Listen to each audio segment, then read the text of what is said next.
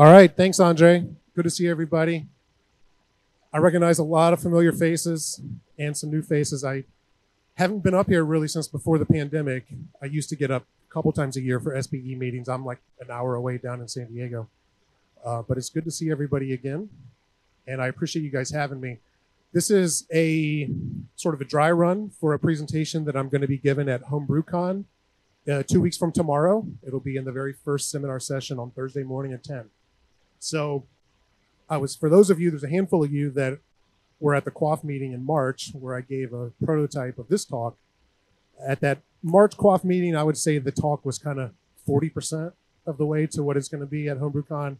And tonight it's about 80 to 90% of what is going to be at HomebrewCon. And you'll see, I'll tell you, there's places in here where I'm still waiting on some data. Still need to run a few experiments that I'll plug in, but it's pretty close. I hope you guys enjoy it one thing I would ask, because I'm also kind of using this to help me with my timing a little bit, because they're very strict on that for HomebrewCon. So I'm going to periodically be glancing at my phone because I'm going to start a stopwatch. But as far as questions are concerned, if we could save them to the end, it'll help me because then I won't have to sort of infer what the timing would have been if those questions haven't come in. So if you have questions, remember them. I'll answer every question in the room at the end. I just don't want it to sort of interfere with my uh, clock work in the meantime. All right, so I just hit start. This is mastering the mash. Control the process to produce the wort. Now I've given you the big sell, and now I'm about to tell you the whole thing's kind of a bait and switch. Because mastering the mash, it's sort of like medicine or law. You never really master it. No one ever says, Oh, what do you do for a living? I master medicine. No, you practice medicine. You practice law. And really, you, as brewers, we all sort of practice mashing but I want to hopefully give you guys a, a toolkit, some information that you can use to improve your practice of mashing. So, who am I? There's me. Um, there's my son, John Quincy. Uh, a lot of you guys know me from Quaff, but tonight, for the purpose of this presentation, I'm the guy who just conducted 78 mashes over the course of 10 days. John Palmer says, the difference between a good brewer and a great brewer is his or her ability to control the brewing process. And I wouldn't have put that up on this slide unless I completely agreed with it. And we're going to spend the next 50 minutes or so talking strictly about process. Recipes super important, super fun, but I'm a firm believer that where you really learn how to excel as a brewer is by understanding sort of beneath the really high level what's going on with your brewing process and if you improve something on your brewing process, all of a sudden every single beer that you make gets better. It isn't like you made a tweak to your pale ale recipe and your pale ale gets better, but your other recipes all stay the same. You fix something on your mash, every single one of your beers is going to be better. Here's our objectives. First, I'm going to try to help you guys out with some basic knowledge about enzymatic conversion. There's going to be some science. I'm going to try to make it at the right depth so that it's hopefully approachable. And really, what we want to do with this is try to develop some intuition as to what's going on, the science behind mashing. Because if you have that intuition, if you understand what's going on beneath the hood, it'll help you troubleshoot, it'll help you make connections on your own. Next, we're going to try to understand some process control points of single infusion mashes. And when I say process control points, I mean the knobs that you can turn on your mash, the things that as brewers are all the variables that we can change to manipulate what's happening in the mash. So these are going to include the primary ones that are available to us. First is crush, or how finely your grain is ground. Second, it's really two, but I put them together time and temperature. These are the ones that most of us are the most familiar with, and they're probably, frankly, the most important. Third off is pH. Fourth is mash thickness, so your water to grain ratio. And then fifth is your grist composition. So this is what kind of malt you're using and in what proportions in your mash. And then lastly, really, this is probably my primary objective with this seminar. I hope you learn a lot about mashing, but I also really hope that I strike a chord or inspire some of you guys to go and do some further exploration of mashing trials on your own, sort of like the 78 mashes that I just did. Now, here's the tell them what you're going to tell them part. First thing we're going to do is cover the science. I've alluded to that already, the fundamentals of wort and enzymatic conversion. Second thing is I'm going to present to you the homegrown experimental framework that I put together. It's really not rocket science, but I'll try to walk you through why I did what I did and how you could replicate it on your own.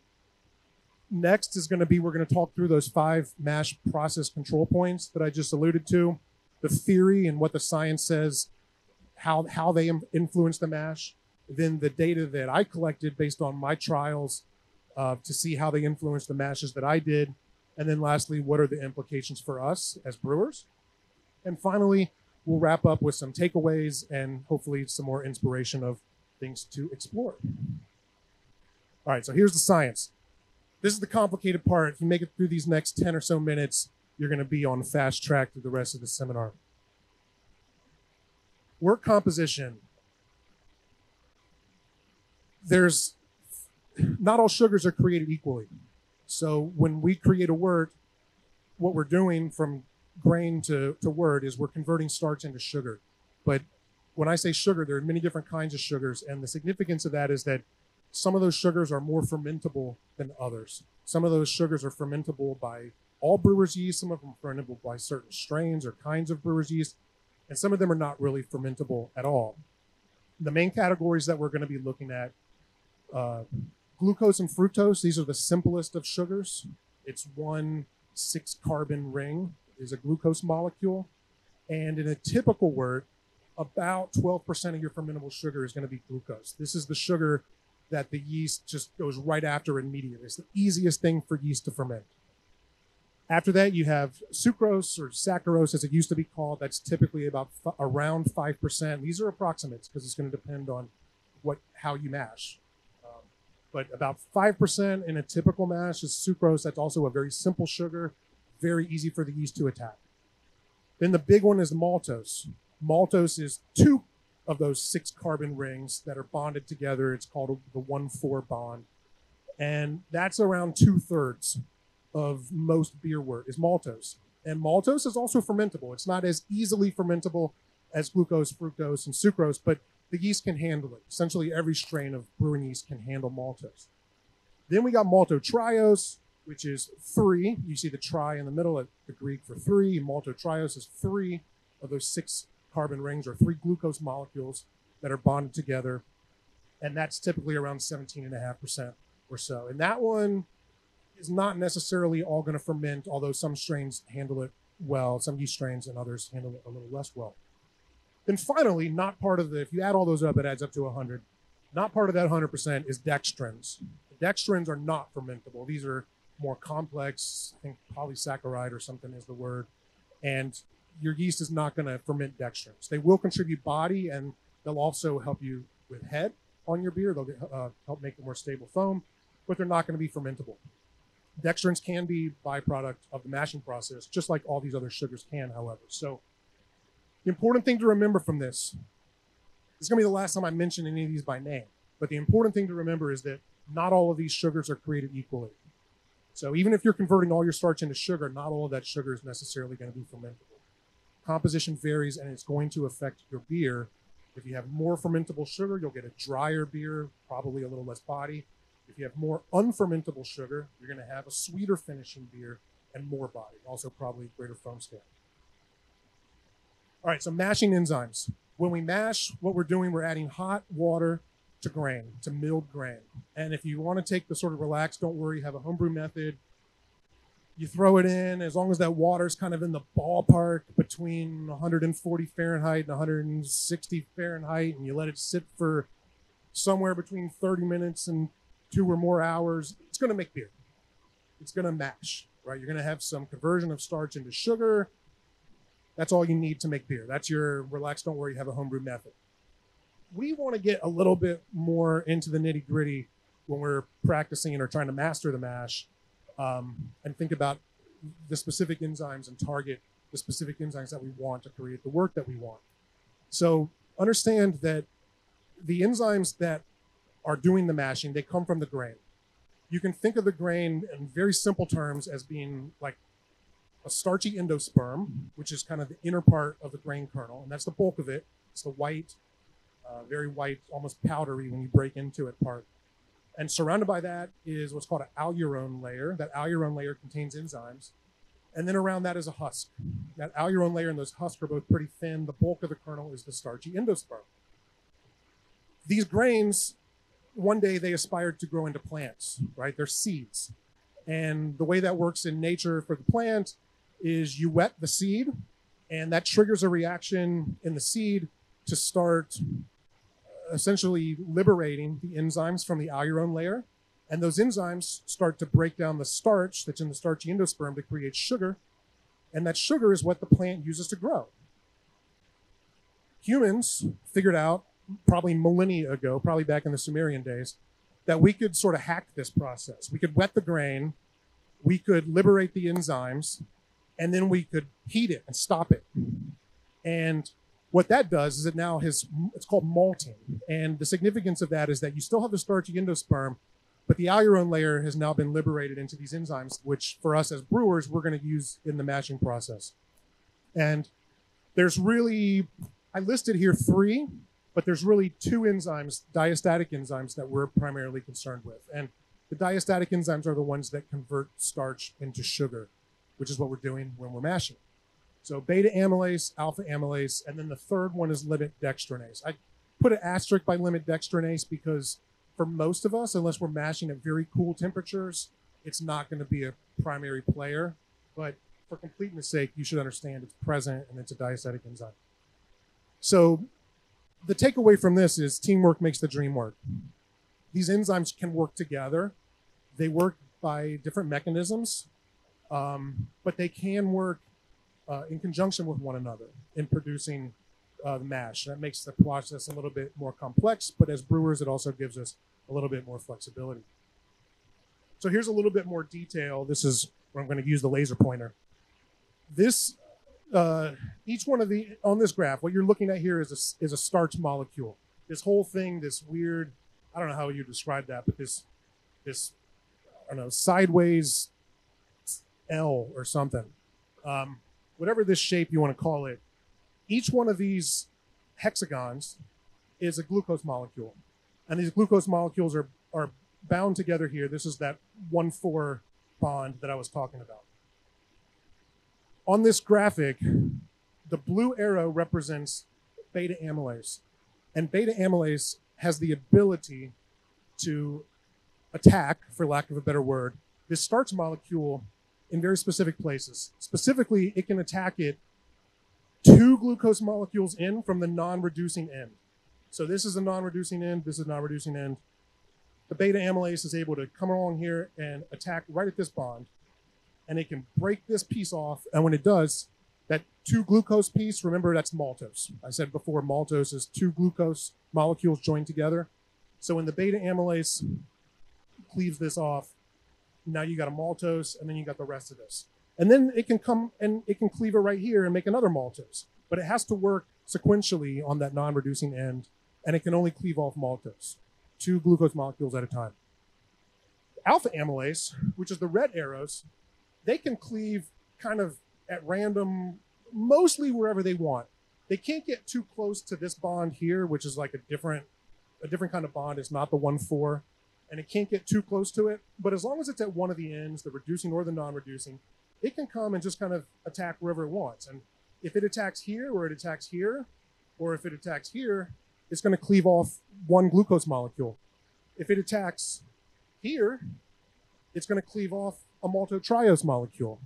If it attacks here, it's going to cleave off a maltose molecule. So you get more diversity of sugars that are cleaved off by your alpha amylase. And just generally speaking, the alpha amylase works more quickly than the beta amylase works. So you don't really need to know all the details of the reducing end, the non-reducing end, et cetera. But what's important to take away from this is the different kind of sugars that beta amylase produces, which is essentially only maltose, and the sugars that alpha amylase produces, which can be glucose, it can be maltose, it can be maltotriose, but it could also be dextrins, right? If the if the alpha amylase attacks right here, now you just made a 4-glucose molecule that's a dextrin, and that's going to be an unfermentable sugar. All right, that's all the science. Now we're going to get to the more fun stuff, the experimental framework. So I set about to design an experiment that would hopefully model common all grain homebrew setup. I mean, I was it's kind of being selfish with this. I wanted something that was going to provide me with information about how my mash was likely to perform. And so the setup that I have at home, I have a single infusion. Well, I have a, a separate mash tun, and I use what's called a HERMS system, which is a way of indirectly heating the wort in order to maintain steady temperature. Um, a RIMS setup will accomplish the same thing, but it's more direct heat application. But the idea was that I wanted to have something where it was a self-contained mash vessel with a steady temperature. So throughout the duration of the mash, the temperature is going to be held constant. And I wanted to do an experiment that used common homebrew ingredients. Um, there are other people who have done similar setups to this. If you're familiar with uh, Kai Troester and the Braukaiser website, it's kind of a really amazing resource. It looked like kind of before my time when I really got into homebrewing, but he set up this blog and has all kinds of experiments that he did back in the around 2010, 2011, and he did similar experiments but using uh, Bohemian Pilsner malt, using bread yeast. I wanted to use the kind of ingredients that a lot of us use when we're making American ales at home. So I used uh, two row malt and then White Labs generously donated some WLP 001 dry yeast for me to use in the experiment. Another important thing in the experimental design was trying to come up with a design where I could really lock down the control variables. I showed you all the process control points before. There's a lot of things, a lot of things to lock down and control if you want to just pick one experimental variable that you're manipulating. So to make sure that everything else, to eliminate the chances of something else impacting the results, I use RO water, which happens to also be what I usually start with when I'm brewing. I use the same water chemistry on all these mashes. I just came up with this because again, it's similar ratios to what I use when I homebrew. That works out to around 80 or so ppm of chloride and 90 ppm of sulfate and 100 and some odd ppm of calcium, in that ballpark. Um, not a fancy, a fairly soft water profile, but just something that was very uh, simple to use. And 1.2 was a good number because it's divisible by 2, 3, 4, and 6. So if I had to add three quarts, then I could add 0.4 grams, etc. Just very uh, selfish decision to use those numbers. I wanted to use the same ingredients for every mash, so I chose Great Western two row malt as my sort of base malt that I use for just about everything, WLP 001 as my yeast. Same weights and volumes where possible. So for almost all of these trials, I did 64 grams of, of grain and 200 milliliters of liquor or water. And I chose those numbers because if you do all the unit conversions, 64 grams to 200 milliliters works out to almost exactly 1.5 quarts per pound. And most of us, when we think about mash thickness, we think about quarts per pound. 1.5 is a fairly common ratio a lot of us use. So 64 grams to 200 milliliters worked out to 1.5. They were also numbers that, again, were sort of easy for me to remember. 200 milliliters was filling up my graduated cylinder two times because it's a 100 milliliter graduated cylinder. So convenient numbers. I think that's an important part of the design because first of all, you're more likely to remember, less likely to screw up. Um, same weights and volumes for each of these trials. I just talked about that. And then finally, an easily rep- replicable and monitorable process. You don't want to do something that requires a lot of dexterity when you're transferring this to that or a lot of very careful timing because that's just an opportunity where you can screw up, an opportunity where you can introduce human error that's going to interfere with the precision and accuracy of your results. And then in order to maximize that precision, pick your measuring instruments. For me, I used, I have one of those Anton Paar desktop uh, gravity readers, uh, EasyDens. I love it. Uh, but I was able to get the EasyDens. I've been using it in brewing for years and calibrate that thing to make sure that with RO water, it's reading 1.000. And then essentially you can trust it as long as you're reading at a consistent temperature which I was. Same thing with the pH meter. Uh, I was using the Pocket Pro Plus from Hach. Just make sure every time you use it that you calibrate it with the calibration solutions, because otherwise your numbers will be off. And finally, set up your process so that you're carefully tracking measurements at multiple and consistent points. So pick certain points where you're going to measure the weight, um, and you'll see in the process when you go through, uh, and make sure that you're measuring at the same time every single time and you're very religious about that, and that you're as careful as you can be. Don't take shortcuts because then if you get goofy data, you'll start doubting yourself and say, "Well, is it because I took shortcuts when I was recording my data?" All right, so here was my initial plan. Initially, I was like, I got all these vacuum insulated thermoses. These things are so great at like holding temperature. That's what they're designed for. It's kind of a marvel of physics. And I used my Starbucks stars. If you get like 400 stars, you can get one of these things for free. So I saved up a bunch of Starbucks stars and got all these thermoses. And I was like, this is great. I'm going to have all these little mash tuns. I'm just going to dough in. It's going to be at the temperature and it's going to sit there for 60 minutes. Separate mash vessels, which is perfect. Independent temperature, so I could do one at 143 and one at 146 and one at 149, and it's going to be awesome. And then I realized it doesn't really hold the mash temperature that steady. Over the course of an hour, I was getting like a six degree drop Fahrenheit, which isn't the end of the world, but it wasn't what I wanted. And I tried throwing them in the sous vide to say, oh, well, maybe if I surround it by warm water, I'll have less temperature drop. And it was still like a five degree temperature drop. I think maybe the vacuum insulation was making it so the sous vide wasn't really doing much. Uh, either way, it was more of a temperature drop than I was willing to handle. So I kind of went back to the drawing board and I came up with a new idea, which was breast milk storage bags. And these are amazing. Uh, it helps if you have a one year old, as like we do, because you have a bunch of breast milk storage bags sitting around. But really, I mean, look at this thing in the picture. Like it stands up on its own. So you can pour liquid into it, you can pour grain into it. The bag is like thin enough that the heat transfers very easily in the sous vide, but it's thick enough that it holds together. And because breast milk is like more precious than gold, the seal on the top of these things is amazing. I have not had a single one in 78 mashes, knock on wood. I have not had a single one leak on me. So again, we got separate mash vessels, common temperature, because you throw all these in the sous vide, and that sous vide liquid, the water is all the same. So now all of a sudden you don't have to worry about, you know, are you two degrees off on this thermos and versus that thermos? Like they're all exactly the same. Um, and you get a steady mash temperature throughout the duration of your mash. So this was the way to go. Oh, and a bonus is that they're clear, so you can see kind of what's going on. If you see a clump or you see something's not mixed well, or you can start to see when the mash goes from being starchy and cloudy to being glassy and clear, and you know the conversions happen. So, big proponent of these Medela. I did try a couple other brands. The Medela worked the best, but other brands are fine. Breast milk bags. All right, so here's what we do. First of all, to prepare the grain, we weigh it. See right there, I got 64.0 grams. I use my little gram, little drug dealer scale. Gets down to a tenth of a gram, which like a tenth of a gram is one kernel. Like that's how at the end I'm sitting there moving one kernel of grain. Next, we're going to set the gap on the mill. There's, you know, me with the feeler gauge. That one's 0.025 inches, but set the gap, if you have a mill, that's a malt monster three. It's a three roller mill. Um, if you have a mill, you set the gap. If you don't, you just trust the store that they hopefully set the gap in a consistent way. Third, you mill it. And fourth, you bag it.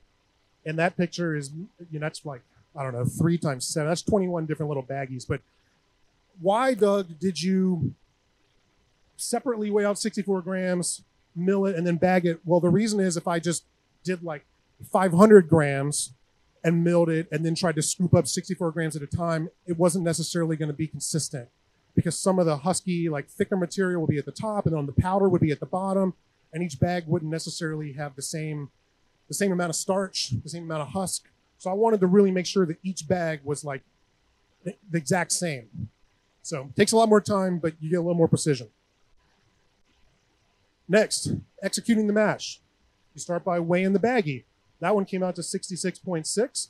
Those bags are 2.5 grams. So that means there's like an extra 0.1 grams of probably like leftover dust or something, or just maybe a little bit of air. 0.1 grams is like nothing. So you, you do that to verify that all your grain got in the bag. Then you weigh your liquor. Uh, those breast milk bags are about five grams. So this one came out to 204.5. And the one cool thing about the metric system is that one milliliter of water is equal to one gram. So that means I had 199.5 milliliters of water. My graduated cylinder was really close. I like spilled a couple drops. And then you mix and mash. And this one's got a video. It's not really a very exciting video, but if you click on that picture, you see just in the middle of it. You don't have to click the, the play button, just in the middle of it, I think. Anyway, you'll see the sous vide is on and the water, you can kind of see little ripples in the water and it's circulating. And I usually, for most of these, there you go, put eight of these baggies in there. There's one other step that I'll add before HomebrewCon. After I mix the grain in the bag, I weigh it again. And the reason I weigh it again is just basically as a check to make sure that no grain spilled or no water spilled, to make sure that it, it basically is the grain weight plus the liquor weight is what made it into the bag. So, I mean, really anal, but the reason I'm being really anal with this, you know, one of the things I want to measure is efficiency. And if you think about it, like 64 grams of grain, if you lose one gram, you've just lost like one and a half percent efficiency right off the top. So like with the law of small numbers, trying to get as precise as possible with this and make sure you don't lose a gram when you're transferring is important. And and thankfully there's enough slack at the top of these bags that I was able to pour without losing. All right. After the mash, you know, 30 minutes, 60 minutes, however long it was, this is my lauter. I just take a, I think that's like a oil change funnel, and then a little like kitchen sieve that's fine enough that you know some of the powder makes it through, but none of the uh, husky stuff makes it through. And I just dump the bag on top.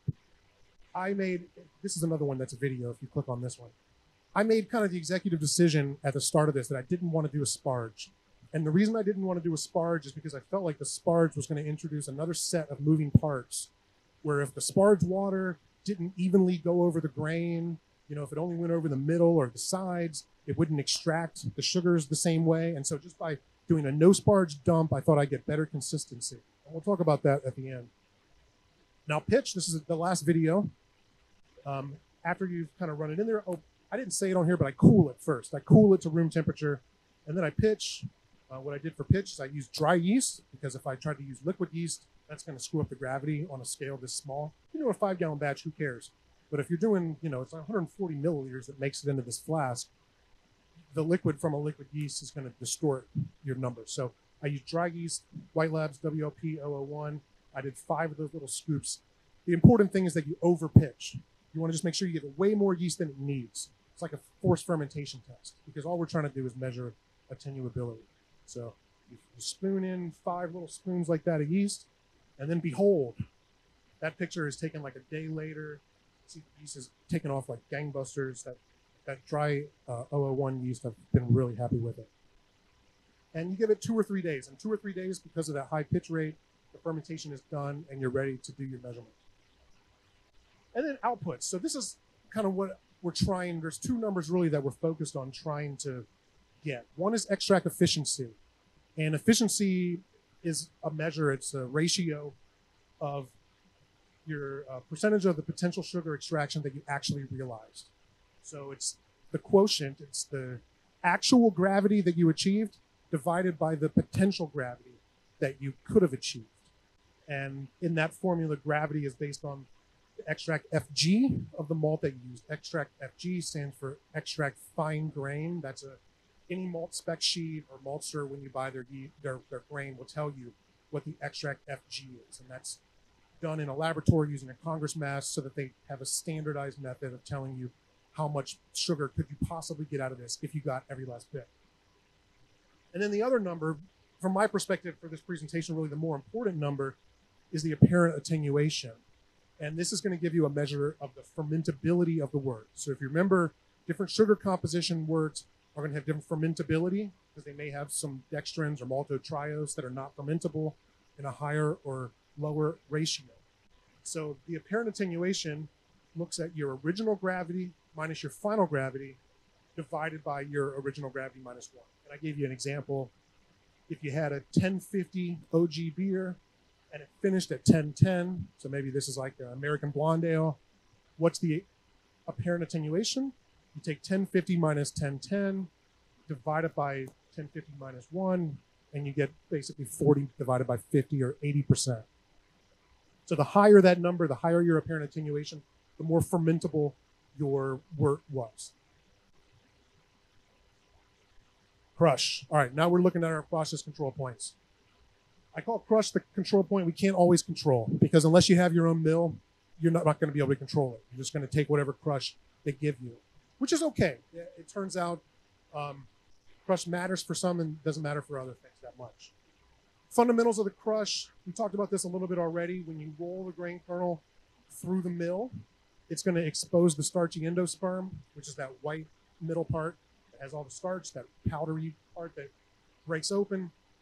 And the tighter you make your mill gap, the, the tighter your mill is set, it's going to create more finer particles. And those fine particles are more accessible by the enzymes in the mash. So you make it more readily conversion, more readily converting. The flip side is the coarser particles, the bigger particles, are going to help give you a more solid grain bed for lautering. So when you're lautering from your mash tun into your boil kettle, if you have too fine of a mash, you can end up with a dreaded stuck sparge. And the liquid isn't going to flow because all that fine powder just sort of cakes up and becomes like a glue. So having some of those thicker, husky parts helps to create a, a filter bed that enables the wort to run through. So a good milling process produces a range of particle sizes, and there's a whole nother talk, and you can get into a two roller mill versus a three roller mill and how to set the mill to maximize your lautering. But for our purposes, the objective is to crush the starchy endosperm really as finely as possible while still leaving the husk as intact as necessary to get a good lautering. And that's going to depend from mill to mill, and it's going to depend from mash tun to mash tun. So I can't even tell you what the right number is. It's going to depend on your circumstances. Most, uh, you know, John Palmer recommends for home brewers usually on most mills if you crush between 35 thousandths of an inch and 42 thousandths of an inch, you'll be fine. Uh, personally, I crush at 32 thousandths of an inch, a little bit below that. I've never had a stuck sparge. So take that for what it's worth. Here's the data. Well, let's go back just a quick second if we talk about our hypotheses, what do we expect from crush? The literature, the science tells us that crush shouldn't really have much impact on the apparent attenuation because the apparent attenuation is based on the enzymatic processes, and your crush isn't going to have any impact on the enzymatic processes. But it is going to have an impact on how much starch is accessible to the enzymes. So we would expect that as we have a finer crush, we'll have a greater extraction. And sure enough, I've run two trials on this so far, and these were some of the earlier trials that I ran. Hopefully by HomebrewCon, I'll rerun these trials because the data is a little bit noisy. But I ran them at 146 Fahrenheit and 155 Fahrenheit. You see the yellow line is 146, the orange is 155. And in both cases, as the mill gap got bigger, so in other words, as the crush got more coarse, running from left to right, you got a lower efficiency with the best fit line. So sure enough, it does check out. Not a huge difference between the 146 and the 155. I was interested in whether maybe alpha versus beta amylase showed a different sort of efficiency gain. And the data is noisy enough that I wouldn't draw any conclusion in that regard. But there is a general pattern and fairly significant, right? We're going from 75% down to 60. That's a pretty big difference in efficiency. Time and temperature.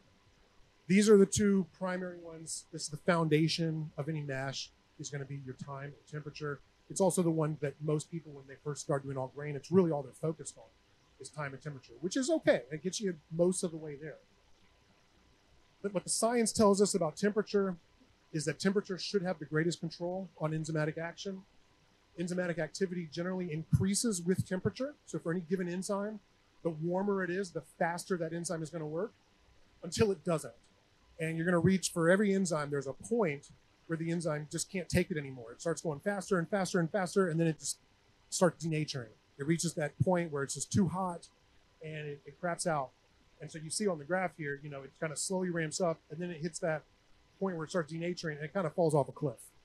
So it's kind of this this game as a brewer, if you're trying to maximize the enzymatic activity using temperature, of pushing up as close as possible to that denaturing point without going over it. Because when you go over it, it falls off. Here's the guidelines for the three enzymes that we talked about. As I mentioned before, limit dextrinase, the active range is in the cooler, you know, 113 to 131. So we're not most of the time, certainly not on a single infusion mash, we're not ever really targeting limit dextrinase. And it starts denaturing rapidly at 149 Fahrenheit. So a lot of our mashes are starting above that. But the beta amylase and the alpha amylase just think of beta amylase as really in that 140 to 150 range. And then alpha, the happiest place for alpha is kind of in the 150 to 160 and preferably on the higher end of that range. and it rapidly denatures at 176, but it really it starts denaturing at 168.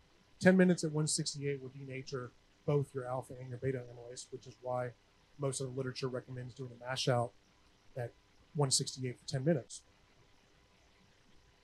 Time. The important thing to know about time is that enzymatic activity is not constant, even at a certain temperature. So you set your mash at a certain temperature, the activity of those enzymes is still going to vary as a function of time, even if you hold the temperature the same.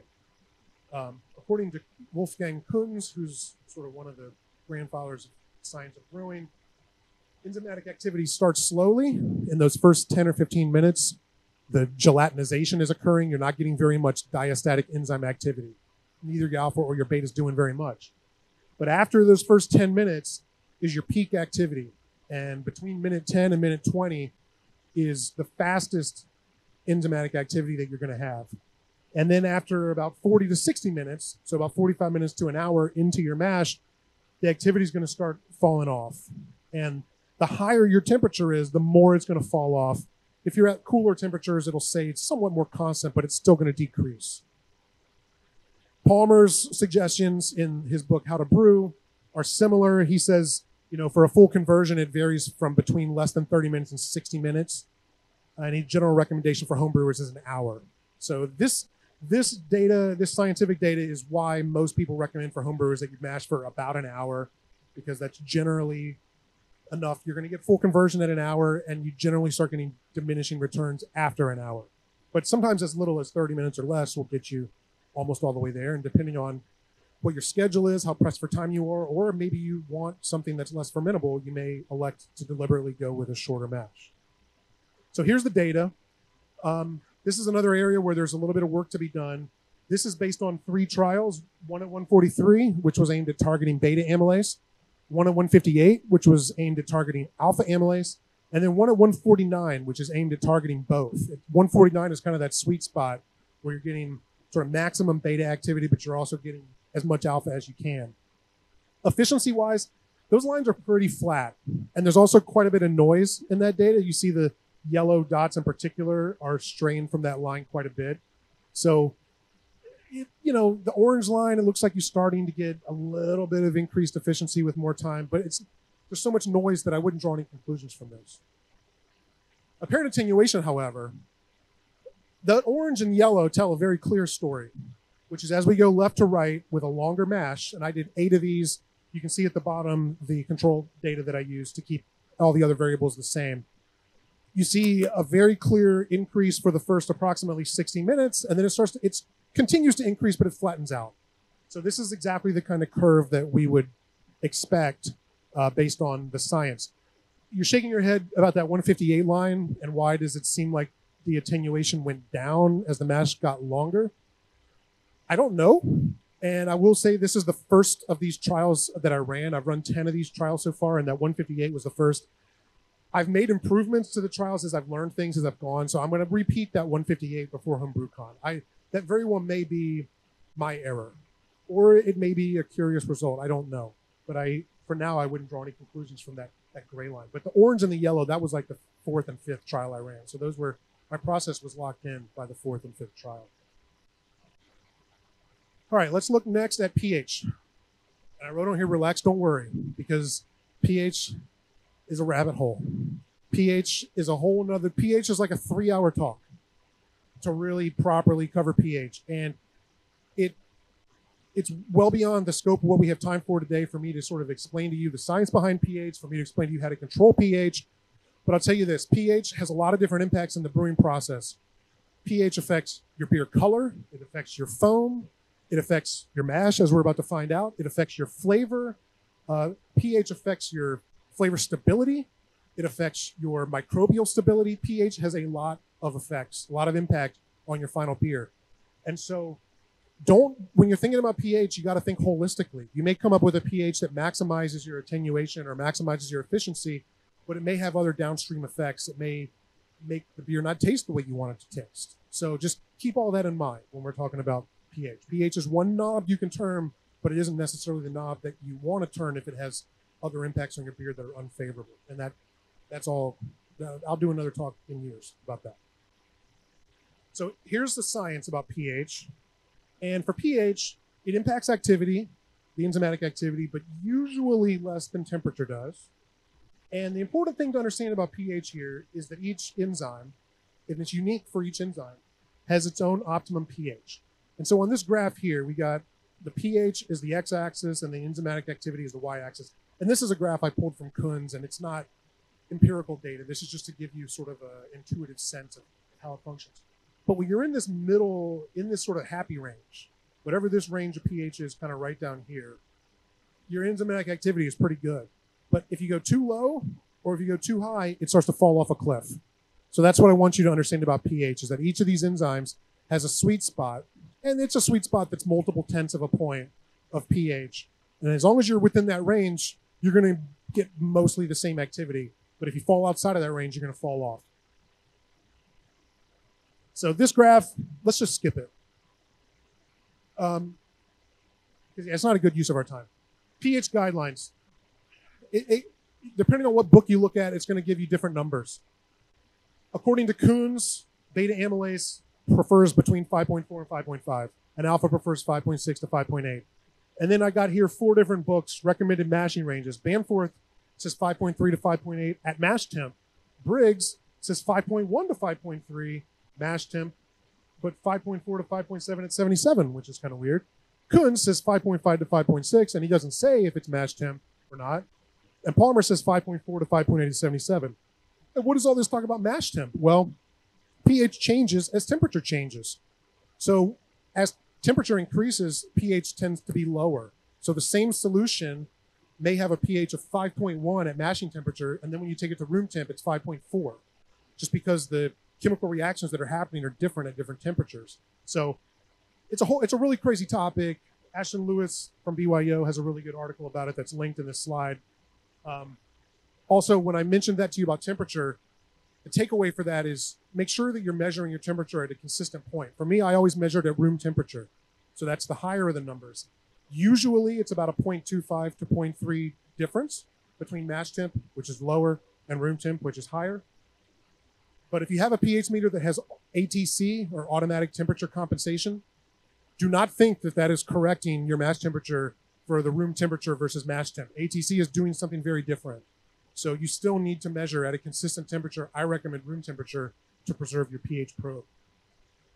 All right, so here's the data on extract efficiency. Again, we got three mashes, one targeting beta, one targeting alpha, one tar targeting both. You know, it kind of looks efficiency wise. You see a lot of noise, first of all. You see those dots are straying pretty far from the line. A lot of noise. I wouldn't draw any firm conclusions from this, but we do see our 155, which is our alpha, seems to be peak efficiency right here around 5.45, which jives with, I think, what was on the previous slide. Yep, alpha likes the higher, beta likes the lower. And it does look like, you know, our 143, that's peaking kind of over here. So about two or three tenths lower. But again, a lot of noise. Don't draw the firm from that.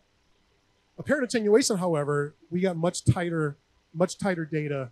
Uh, and here, all three of these mashes seem to be doing really pretty well from an attenuation perspective, anywhere between about 5.3 and 5.65.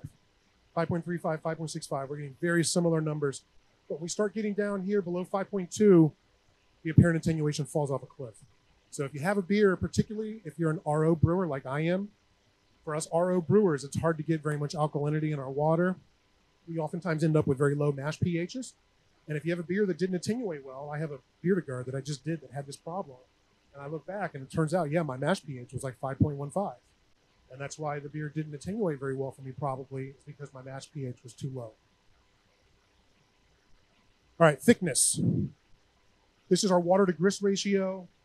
The literature says that thinner mashes, so over like two quarts per pound, which is quite thin by homebrew standards, are usually going to have slower conversion, quicker denaturing, but they might be more fermentable. There's some conflicts in the literature about that. Thicker mashes, and that's listed as below 1.25 quarts per pound, which is very thick. Uh, should have faster conversion. I think the idea is that the enzymes are just closer to the starch. There's less sort of water for them to swim around in.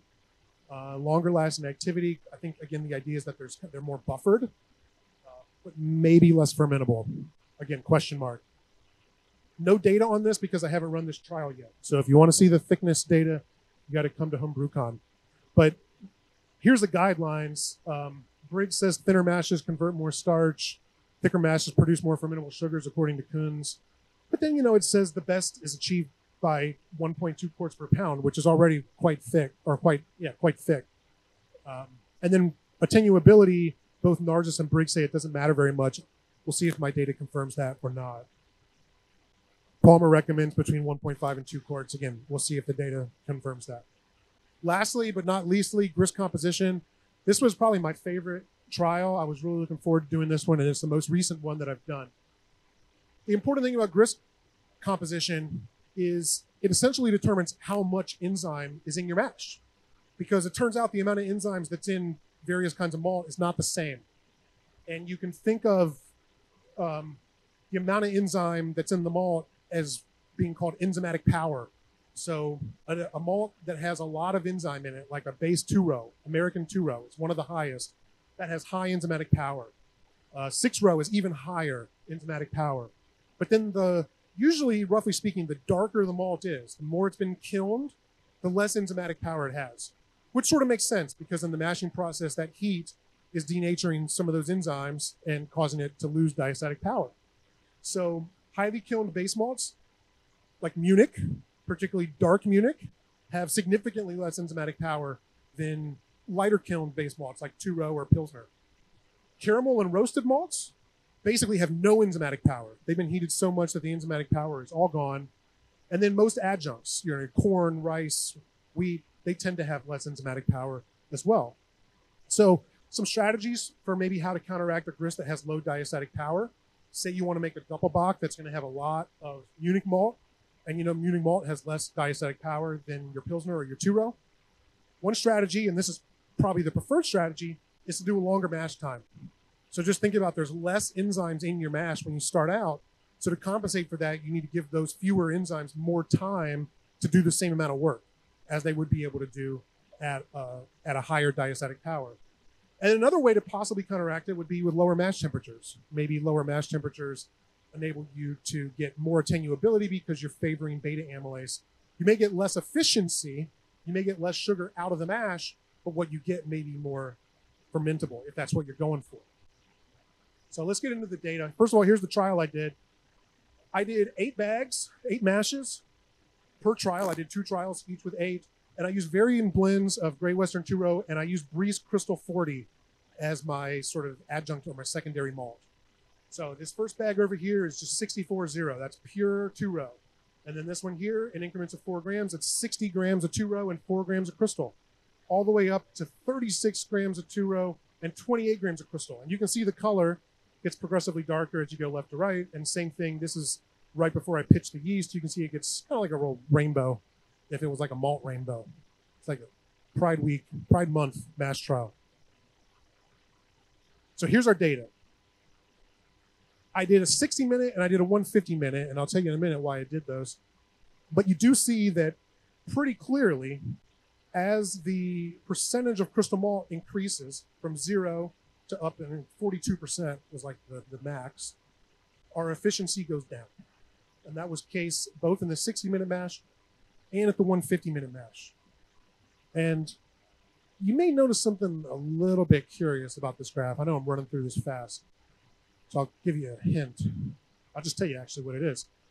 What's weird to me about this graph is that the 60 minute mash had better extraction efficiency than the 150 minute mash, which is really the opposite of what I would have expected. And I think the reason for this is because in that 150 minute mash, I let those bags cool to room temperature before I dumped them and did my kind of lauter. And in the 60 minute mash, I did them while they were still hot. And I think that more of the sugars got left behind on the grains in the bag that had cooled. More of those sugars had kind of coalesced and stuck on the grain. And because I was doing no sparge, there wasn't any way to pick it up. So these were the two most recent trials that I did, and they were kind of a learning point for me that actually I need to be even more careful with my process and make sure that I dump the bags at the consistent temperature because for any given trial, I'm dumping all eight of them at the same time.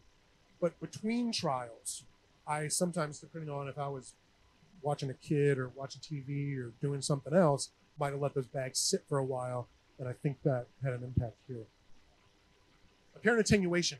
Now, this is my favorite graph of the whole thing because the reason I wanted to see between oh that that's labeled incorrectly where it says 149 that should say 60 minutes um, and the the orange line is 150 minutes i have always heard this maxim that crystal malts contain you know a lot of unfermentable sugar right we've all most of us i think at homebrew have heard that right if you use too much crystal malt you're not going to get good attenuation because crystal malts are unfermentable sugar and i was always wondering i was like what does that even mean because all this stuff gets mashed and i don't think like alpha amylase or beta amylase enzyme is going to care whether a sugar came from a two row starch molecule or whether the sugar came from C crystal 40 molecule. Like, what does the enzyme care? What does that mean that the, the sugars that are in the crystal, the enzymes can't break them down?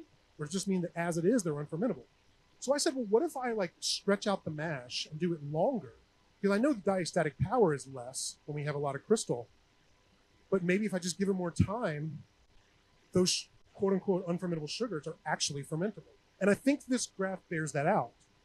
You see apparent attenuation as the crystal malt percentage increases, particularly in the yellow line, which is the 60 minute trial, you know, it, it, it degrades significantly. As we get up here to 42% crystal, uh, you know, this one finished, I want to say at like 1.012 or something.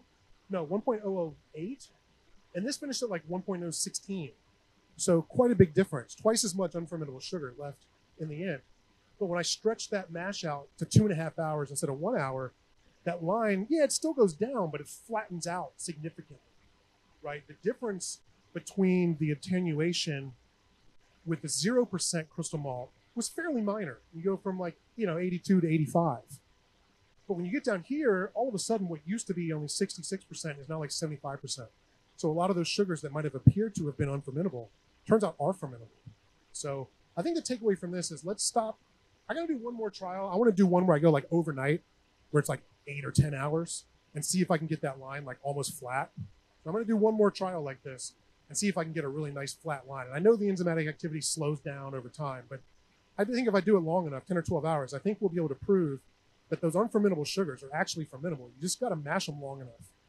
Or add a bunch of six row, which has more enzymes, or you know, obviously, you know, use less. If you're if you're here at like 10% crystal, which is kind of a good number, it's not that big of a difference, especially if you do a two and a half hour mash.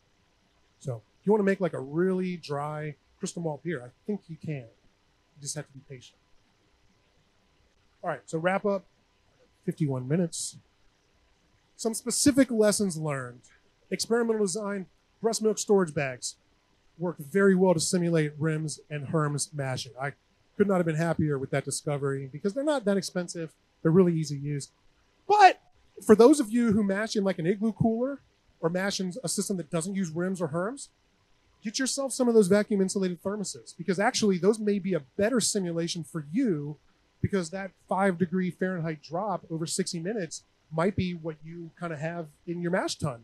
So you'll end up getting data that's more relevant to you. Um, so so do that. Um, some lessons about extract efficiency. Crush matter is a pretty big bit. Remember, we saw going from 25 thousandths to 50 thousandths, there was a pretty big difference in the efficiency. But for all the other trials, the extract efficiency data was really pretty noisy. And it doesn't look like, if anything, it was a very secondary effect when you did with different temperature, a different time, or different pH on your extract efficiency. My hypothesis here is that extract efficiency is largely determined by physical factors. So essentially, you know, with the crush, it's how much of that starch is getting exposed, but then it may be sort of how wide your mash tun is, how much when you lauter, if you're sparging, how much sparge water you use to rinse those sugars. I think it has less to do with enzymes. I think it has more to do with physics. But attenuability, on the other hand, has a lot to do with enzymes. And we saw some pretty dramatic effects with time, temperature, pH, and even grist composition. Time and temperature had the most significant effects, at least as long as you're staying within the pH sort of happy range.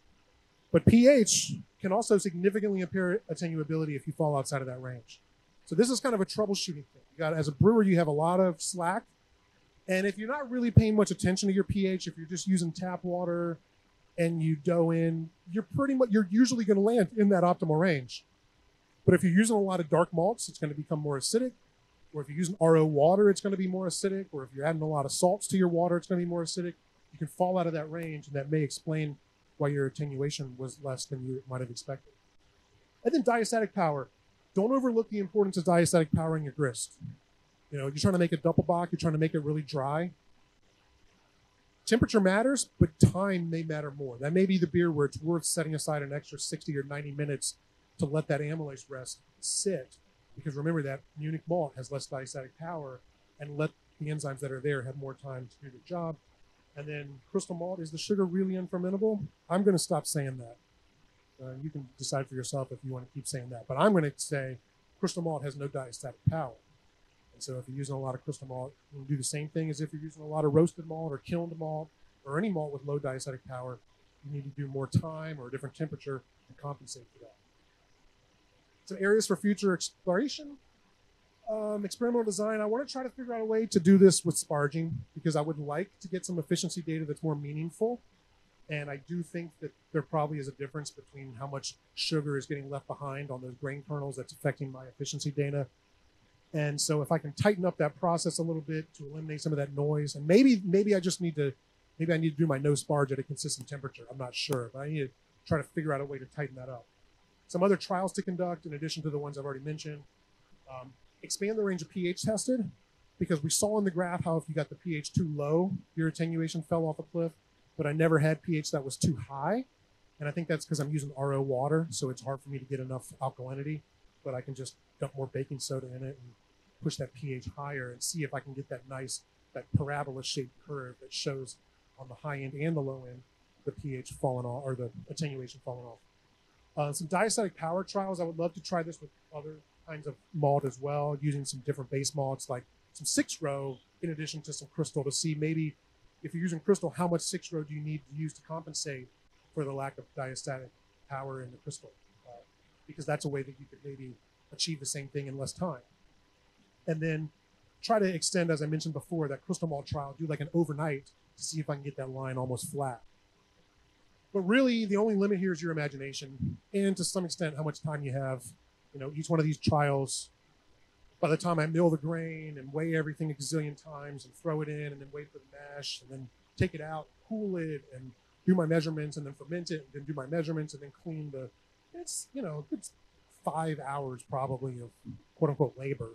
Um, so it's not nothing, but that five hours gets me eight mashes, and a brew day is like five hours. That gets me one mash. So it's still a lot quicker and cheaper than doing a full brew, and you can learn a lot more, a lot faster this way. Big picture takeaways. I want you to come out of here understanding that mashing can be as simple as you want it to be. Just add warm water and grain but it also is a very complex and multivariate process. There are a lot of biochemical reactions happening. So the more you can abstract this and you can think about sort of the beta amylase range, the alpha amylase range, have an intuitive understanding how beta works and how alpha works. So you get some expectations for how going in different ranges may change things. Also understand there's no sim- single optimal mash profile. Can't walk out of here and tell you the best mash to do is 148 degrees Fahrenheit for 75 minutes at a 5.45 pH. I mean, that doesn't make any sense because it depends on what you're trying to achieve. It depends on what attenuation you're trying to get. And then there's downstream effects of your pH that you may want to take into consideration. And you may not be the one who sets your mill gap. So the store sets that and you may have to compensate in others. Just understand that there's a lot of knobs you can turn and some of them counteract one another. But as a brewer, that gives you more flexibility. Um, don't think of it as a challenge. Think of it as it gives you more control points, more flexibility. Uh, and what constraints and conditions? Maybe you have a short brew day. You only got 45 minutes for your mash because you've got to go do something important at the end of your brew day. So maybe that's the day that you want to, you know, a beer that you normally would do at 145, maybe now you want to do it 149 so that mash can happen a little bit faster. Um, or maybe you want to change the pH or add more six row or whatever it is to get the same thing in a shorter amount of time. Um, as I just mentioned, having multiple control points gives you control and flexibility as long as you understand how to use them. Uh, you can use one control point to compensate for constraints on another. Like if you have a, that should be constraints, not constraints. Uh, if you have like a short brew day, or maybe because of the grain you're using, it's going to push your pH in a certain direction, you compensate by turning another knob. And also, better intuition can help us correct on the fly. Maybe you dough in and you just missed your temperature. You were expecting 148 and it doughed in at 153. And then you're thinking, oh goodness, like what am I going to do? I got to try to compensate for this I mean, well, obviously you could try to get that temperature down quickly, but maybe you could extend the time. Maybe you can add some acid and adjust the pH. Maybe there's other things you can do to save that and still get what you were trying to achieve. So lastly, but not leastly, don't be afraid to experiment. All of this is stuff. One of the cool things about homebrewing is we have the ability, you know, if you have a sous vide at home or whatever they cost these days, like a hundred something bucks, pick one up and you can do all these experiments on your own at home, just the same as a pro would be doing in a lab. So thank you for your attention. I'm at 58 minutes, which means we have a minute and 15 seconds for questions. Uh, it really means I need to just I need to shave like eight minutes off of this. Uh, but thank you, big thank you to White Labs and Eric Fowler, who donated the yeast. And yeah, for you guys who held your questions, if you have any, I'm happy to answer them. Justin. I didn't use any hops because I'm not making beer. I was making worts. And uh, before anybody asked, I did taste some of it. It tastes awful. um, and one of the reasons it tastes so awful is because if you saw the the Erlenmeyer flask I was fermenting in, there's a lot of headspace. They got oxidized real bad. That's my other theory as to why that, by the way, that grist composition, the one that was the shorter, the 60 minute hold, had worse attenuation than the 150 minute hold. I waited like five days instead of three days on that one before I did the final gravity measurements, and the, the beers were all like gray by the time they were so oxidized because uh, I just had those foam stoppers on the top. And I I tried to do a little research online to see if oxidation changes gravity, and I couldn't find anything that said it did. So I kind of threw that working theory out, but it's possible if the oxidation impacted the gravity. Chris. So there was no boil? No boil. Okay, yeah. So this is another thing. Um, I actually, you know, I'm already eight and a half minutes over. This was another thing when I was doing my process. So when I first envisioned this, there was a boil, and then it, the boil became very hard to control. It became very hard because I don't have like a hot plate that was electric that I could put these flasks on, and certainly not that I could put eight of them on at the same time. And so I was trying to do them stovetop, and I ended up with very different evaporation rates, which then changes your gravity, which screws up your whole your whole bag. So I was I kind of panicked about this for a couple days. I was like, man, if I can't do a boil, this is going to be screwed up because now microbes can get in there. And then I started doing some research on um, pasteurization, and I added a mash out step. I didn't tell you this, but I did a mash out step on all of these. So every one of these mashes, I raised it to 170 and held it for 20 minutes. And it turns out that at like at 170, the pasteurization time is like four minutes. So these all should have been pasteurized during that mash out step. And I didn't notice any, and even the one that I let sit for five days before I measured it, no signs of bacterial infection. I saw no little white stuff. Uh, when I tasted them, I didn't get any acidity. The pHs, I didn't. I measured the pH both before and after fermentation. I didn't show you that because it's not really important, but I measured it to make sure consistency, and they were all very consistent. These were all finishing right around 4.2 pH. So again, no major pH drop. So I think that pasteurization step is working, and that was another. I didn't get into it in the design, but that was another breakthrough that I should I should devote like 20 seconds when I'm going through it to mention that I did that mash out. Yeah. Okay.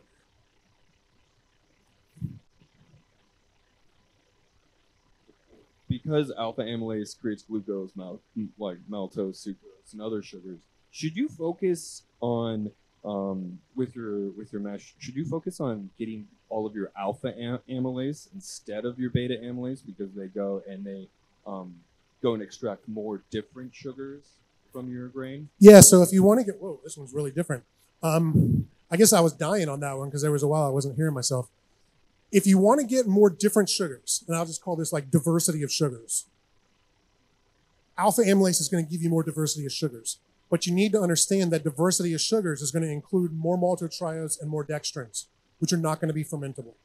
So, an alpha heavy mash will give you more diverse set of sugars, which is what you want if you want a less attenuable beer. So, if you're making an English barley wine or you're making something where you want a higher final gravity, that's the way to do it. And also, maybe, look, maybe you got one of these time constraints. There's a, a friend of mine in the Quaff Homebrew Club who has small kids, and he likes to split his brew days, where he'll do the mash one day and then let it sit overnight. And then he comes back the next day and does the boil because it's just hard for him to get five hours with little ones running around where he can do the whole thing in one shot. Well, if you're sitting down in beta amylase range and you do that, all your beer is going to be super attenuated right? It's going to be super attenuable. It's going to be really dry. And Eli makes really dry beers when he wants to. But if you don't want to make something that's that dry, you could mash it at that higher temp and let it sit overnight, and it's still because that alpha amylase, the beta amylase is going to be denatured fairly quickly at those temperatures. The alpha is still going to give you enough diversity of sugars. You can still have a sweet finishing beer um, if your constraint was you had to mash overnight. So that's an that's another sort of example of how if you have intuition around this, they can help you sort of work around constraints or problems that you may encounter. Sean. Did you look into uh, just doing like a range, I guess, uh, of temperatures during like a one mash, like a single mash, so staying at like uh, alpha beta or sorry beta amylase and then going to alpha amylase? So I didn't do any step mashing, if that's what you mean. The only step that I did was on each of these, I did a, a steady raise to a mash out. So all of these at the end of the mash, the raise ranged between eight and 13 minutes. And that time I logged it for everything. It depended essentially on how much water was in the sous vide and also what, if I was going from 143 to 170 or going from 153 to 170. Um, but it was fairly quick in all cases, between eight and 13 minutes. I didn't do any step mashing, but with this setup, you absolutely could. And for me personally, with the HERMS system, and I do a lot of German lagers with step mashes, that's something I want to look at in the future.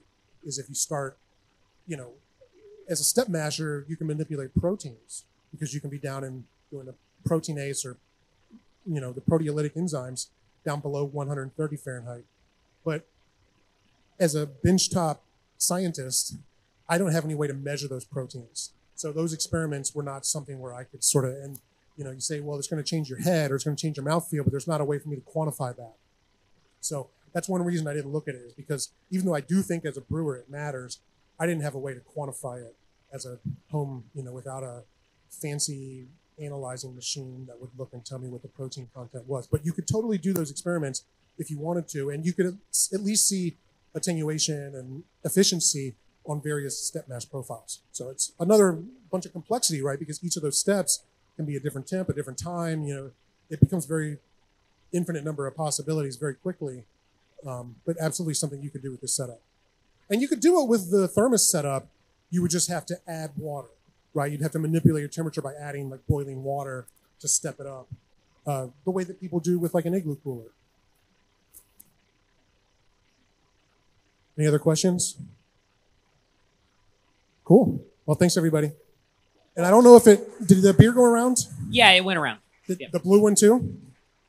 Well, yeah. Awesome. Okay. Yeah, that Vienna lager that passed around was a Vienna lager that I brewed back in February.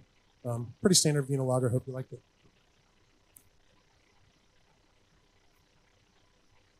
Also, hope to see all y'all at HomebrewCon. Whether you come to the seminar or not, you've already seen 80% of it. It'll be eight minutes shorter next time with a little bit more data. Um, but you should definitely come. It's a ton of fun. You're going to have a blast at club night. You're going to have a blast the whole three day weekend. So Cool. Thank you, Doug. Do another round of applause for Doug.